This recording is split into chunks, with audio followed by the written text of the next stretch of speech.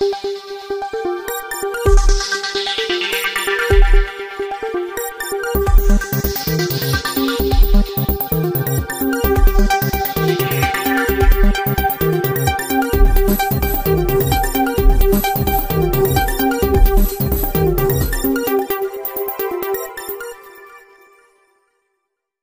అనంతపురం జిల్లా గుత్తి ప్రభుత్వ ఆసుపత్రిలో మౌలిక వసతులు కల్పించాలని డిమాండ్ చేస్తూ భారత కమ్యూనిస్టు పార్టీ సిపిఐ ఆధ్వర్యంలో గురువారం ధర్నా కార్యక్రమం నిర్వహించారు. ఈ సందర్భంగా సిపిఐ మండల కార్యదర్శి రామదాసు మాట్లాడుతూ ఆసుపత్రిలో డాక్టర్ల కొరత ఎక్కువగా ఉందని పన్నెండు మంది ఉండవలసిన డాక్టర్లు ఐదు మందే ఉన్నారని ఇలాంటి పరిస్థితుల్లో ఐదు మందితో వైద్యం ఎలా అందిస్తారని వారు ఆగ్రహం వ్యక్తం చేశారు.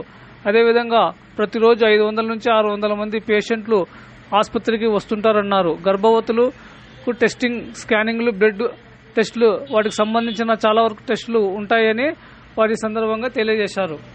ఆసుపత్రిలో మూలక వసతులు కల్పించాలని అధికారులకు విన్నవించారు. అనంతరం డిమాండ్లతో కూడిన వినతి పత్రాన్ని సంబంధిత వైద్యాధికారికి అందజేశారు. ఈ కార్యక్రమంలో సిపిఐ నాయకులు కార్యకర్తలు పెద్ద సంఖ్యలో పాల్గొన్నారు.